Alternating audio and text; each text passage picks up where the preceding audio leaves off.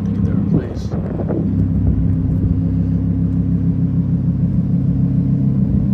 Otherwise, car is extremely clean, exterior, interior, full matte PPF, soul racing